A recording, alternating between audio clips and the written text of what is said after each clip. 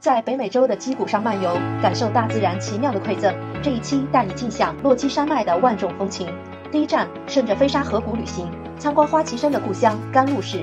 这里是北美最大的花旗参产地，打卡太平洋铁路竣工纪念地最后一根钉。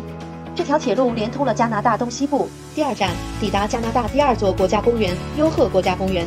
它有加拿大最高的瀑布、世界级的化石遗迹以及千变万化的梦幻景色。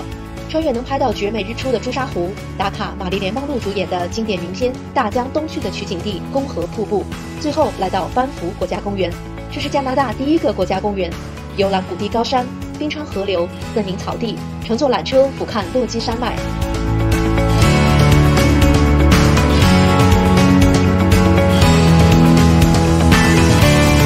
在硫磺温泉中享受美景，绝对是人生一大乐趣。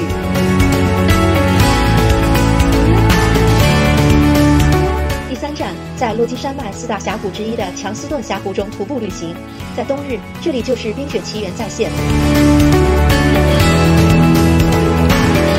途经路易斯湖这一块落基山脉上的蓝宝石，就是镜头中最佳拍照背景。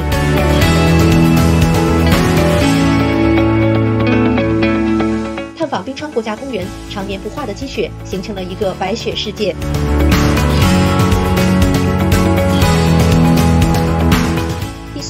来到风景如画的维农市，畅游加拿大的香格里拉水怪湖，探秘水怪的奇妙传说，再畅饮一杯世界闻名的加拿大冰酒，尽情享受独特的葡萄芬芳。